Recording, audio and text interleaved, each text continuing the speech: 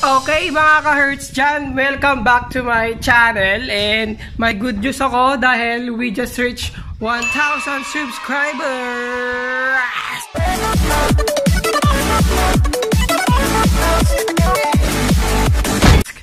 And yan, Siyempre, hindi, hindi ako papayag na naka-reach tayo ng 1,000 na wala man lang tayo ginagawang bagong vlog. So, heto ang vlog natin ngayon pupunta tayo doon sa palengke at mamimili tayo ng ingredients ng lumpia. So, bakit lumpia? Siyempre, lumpia sa celebration ng 1,000 subscribers natin. Tayo magluluto, tayo bibili ng ingredients and magmumukbang tayo mamaya.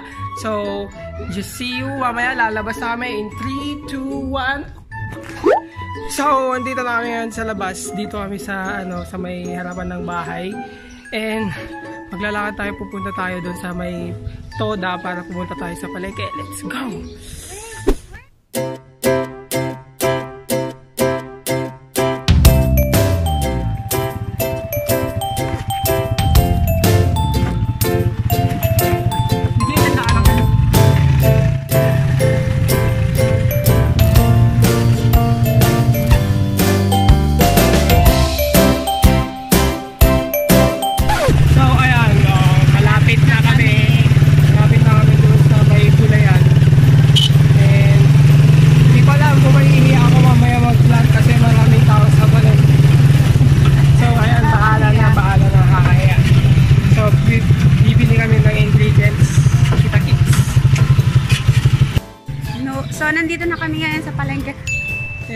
Bibili kami ng ingredients sa kakahiya. Wait, wait lang. Nahihiya kami. Hindi, ang sawo dati.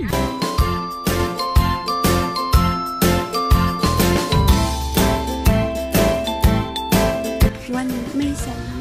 May isa ba? Isa lang, oo. Hmm. Isa lang na lang. Itong malaki na lang. Tapos, ito eh. Ito. Mas maganda. Ay, ito. Or ito. Ito. Ito. Ano lang. Tapos yung tapos yung wrapper na. Pag mga na dito eh, ano? Ayan. 20. 20. Mga mga talaga yun.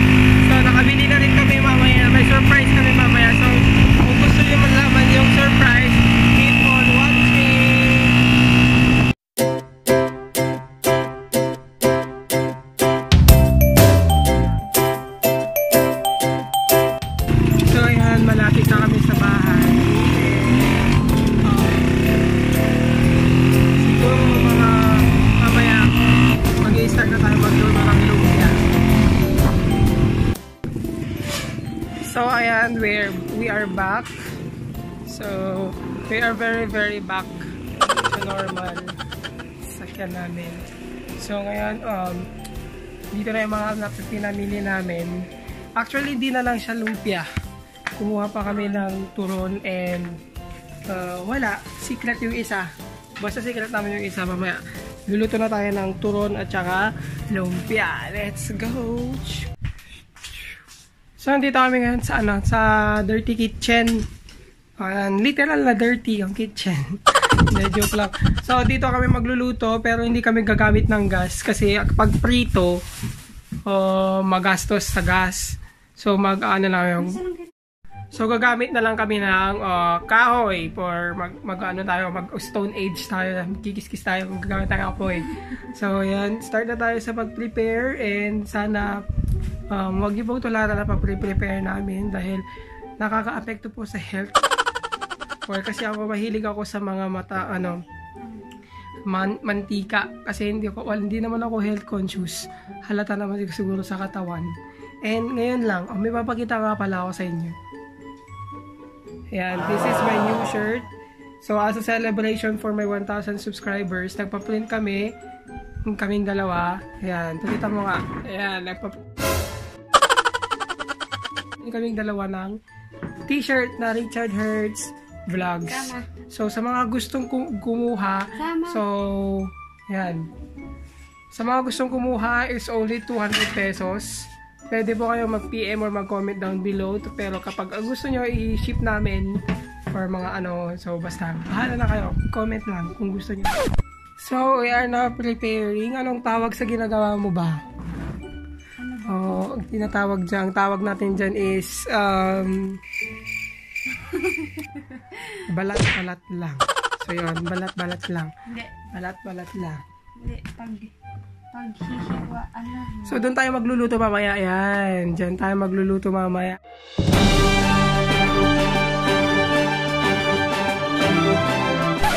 So, mga Stone Age tayo ngayon.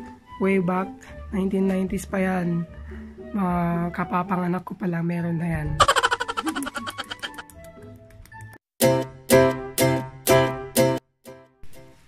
So, ayan. Busy-busy na siya. Um, bale, ako mamaya. Ako lang kasi magluluto. Wrap. Yan. Ako lang kasi magluluto mamaya. Tapos siya magpre-prepare, maghihiwa, ng ganun-ganun kasi di ko alam maghiwa. So, may i-endorse pala akong bagong beauty product. So, ito. Ito siya, face mask siya. Yan. Face mask. Ay, mo ilagay sa mukha mo. Yellow version of Kojisan. So, ayan guys, ay maghihiwa na tayo ng cabbage. May ulat-ulat na. maghihiwa tayo ng cabbage. So, this is my very, very first time para hiwain ang cabbage. So, chicken. Ang unang step ng paghiwa ng cabbage ay huminga ng malalim. Then,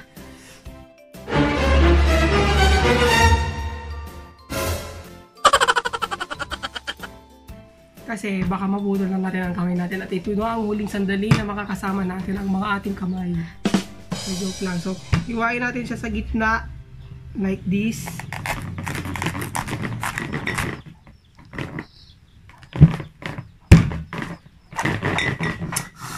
Ano?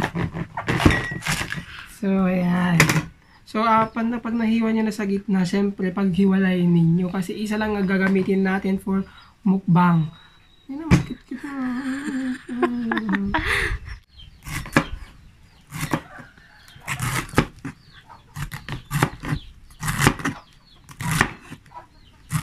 Video na.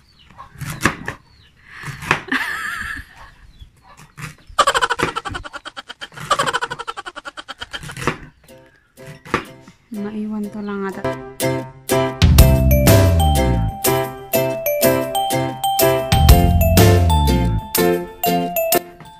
Next naman natin ngayon ang carrots or carrot. Carrot. Sa mga kanong tawag nyo doon. So uh, one third lang.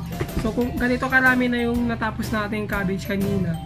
So ito yung next natin since ang gagamitin ang gagawin kasi natin ito i-grind natin siya i yan, i, di pa lang pangalan nito. Basta ganun, kikiskisin natin hanggang sa napa nakalipis. Ta kasi ito, once na iluto nyo to, liliit siya. So, siguro ito, this will made, this will do, this may do. Kasya na siguro to.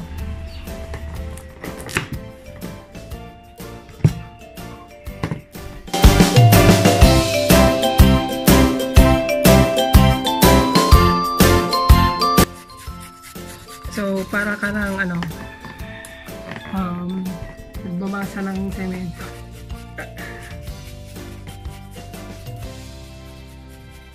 não vai rolar pagode.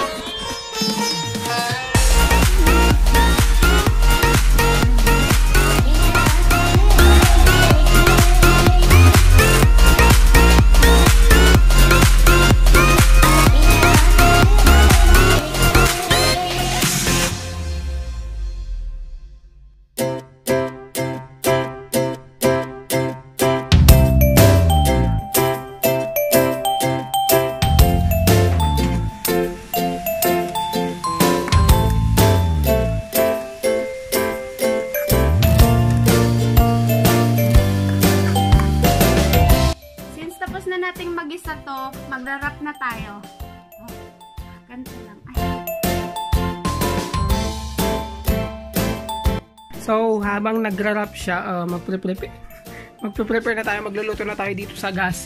Kasi uh, yung kapitbahay namin, sabi niya, mausok daw, kaya sa gas na lang.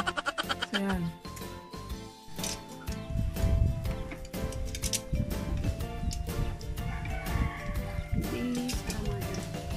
So, habang nagluluto siya ng lumpia, gagawa naman ako ng ba, ano tawag nan? Toron. Toron. Uh, hintayin lang natin siyang mag golden brown. So, itong golden brown na siya. Uh, luto na yan.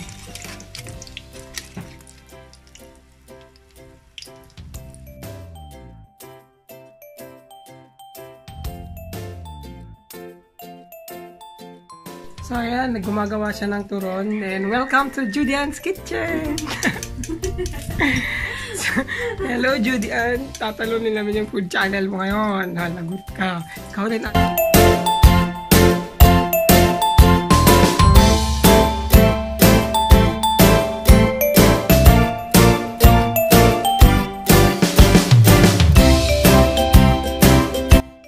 So ayan, let's start with our mukbang. And of course, kapag kapag syempre lumpia, hindi mawawala ang suka. Ayan, suka. Ay!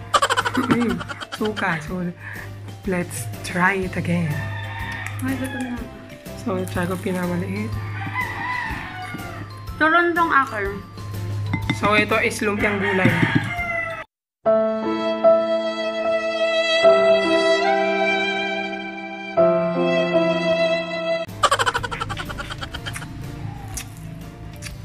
Ay. Sarap ng suka. Ah, mas advisable kasi na igisa muna yung ano, yung gulay bago iluto na prito. Kasi minsan kapag masyado mainit yung yung kalan, nainitan ng kalan, hindi masyado maluluto yung gulay sa loob. Eh, kung mahilig naman kayo sa raw na gulay, okay lang din kasi ako, ayoko sa raw. Masarap din tong suka. Yung paggawa namin ng suka is onion, white onions, suka, konting pepper, asin at asukal.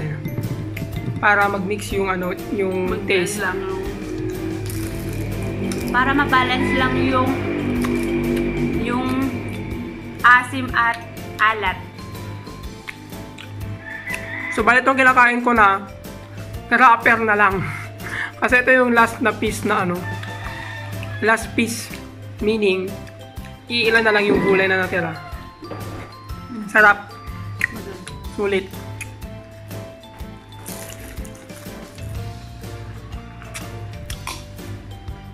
So, dito, meron pa kami isang sausawan. Ito, sweet and chili sauce. So, pwede kayong bumili ng Jufran or yung parang sa mga SM lang. Pwede siyang isawsaw yung lumpia dito sa sweet and chili sauce. Pero ako kasi mas gusto ko yung suka. Mas Pinoy.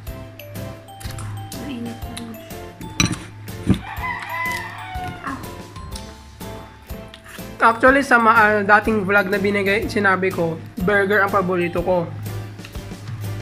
Pero, actually, ang talagang factor kung bakit ko nasabi yun, gusto ko kasi yung mga merienda na niluluto. Hindi yung mga dati nang nakapak. For example, siomai, burger, tsangha, gulay. Ikaw. Malay. Hindi ako nakikinig eh. So, ang dami naming onions kanina. O, yan, may onions. Makikita nyo. Churam dalat sa dami na. Hmm?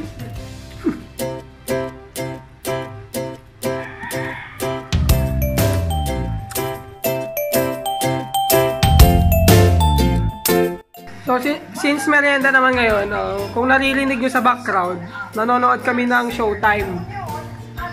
May onion. So, galing La Union.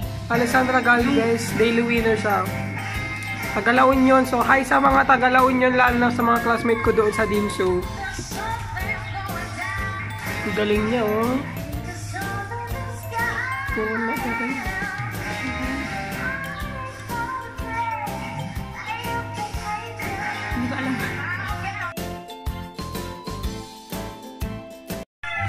we are done with our mukbang pero hindi namin siya naubos kasi sobrang dami and sobrang mantika siya. So, ano, ito na yung surprise namin. Magkakaroon kami ng giveaway. So, ah, ang mechanics lang ng giveaway, mag-subscribe po kayo sa aming channel, turn off the notification bell, and comments, comment ninyo sa comment section yung sagot ninyo sa tanong namin. So, ang tanong namin, alin ang mas masarap na lumpia? Ang lumpia ni kuya mo or lumpia ng tatay mo? So, yun, pipili po kayo kung kaninong luto ang ng lumpia ang mas masarap. Lumpia ng kuya mo or lumpia ng tatay mo. So, comment lang down below and i-announce namin sa Facebook page. Yan, sa description box na lang po yung link ng Facebook page and i-announce namin sa next vlog yung winner. And ang magiging prize nyo is ito. So, pillow for travelers. Pwede rin naman siya sa bahay. So, hindi nyo na pwedeng tanongin ang presyo. Basta ito, pwede namin siyang ipadala sa LBC or pwede nyo i-claim dito mismo sa bahay or kahit na ano. Basta, uh, just comment down below at i-contact na namin lang kayo. Lagay nyo na rin yung name, address, at contact number or Facebook account para naman alam namin na contact namin. So, thank you for watching. Please like, subscribe, comment, and thank you.